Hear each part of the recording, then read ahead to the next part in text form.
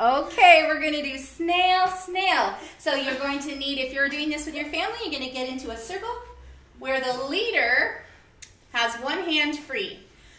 Sing with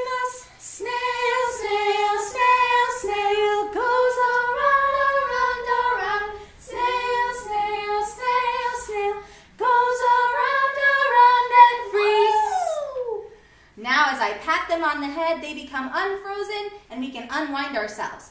Snail, snail, snail, snail, goes around, around, around. Snail, snail, snail, snail, goes around, around and freeze. Now Savannah is going to be the leader and we're going to follow her. Ready,